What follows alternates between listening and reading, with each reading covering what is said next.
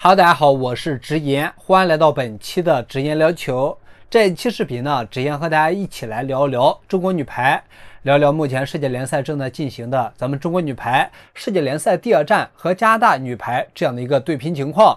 那么目前呢，比赛已经是三局打完，而咱们中国女排在前两局和对手打成了一比一平之后，第三局咱们是获得了球队的胜利。那么最终我们目前现在是二比一领先，拿到了一个很好的获胜的先机。可以看到，在第三局比赛当中，那么中国女排首先我们在场上不再像第二局那么慌乱，在场上咱们的状态有了很好的回暖。而加拿大女排方面，她们确实在场上是呈现了冰火两重天的局面。那么在第二局发挥神勇的加拿大女排，来到第三局以后，被咱们中国女排在状态上有了一个非常严重的碾压，对吧？那么在场上呢，加拿大女排她们失误比较多，可以说随着状态的崩盘，加拿大女排第三局的比赛没有了还手之力。反观咱们中国女排方面，在第三局的比赛当中，那么中国女排我们的两大副攻手王媛媛和袁心玥都在比赛当中打出了不错的发挥。那么尤其是王媛媛在第三局的比赛里，个人的扣球质量非常高，多次的扣球帮助中国女排得分，那么让我们在场上建立优势。而咱们中国女排的接应龚翔宇在第三局的比赛里也是打出了现象级别的表现。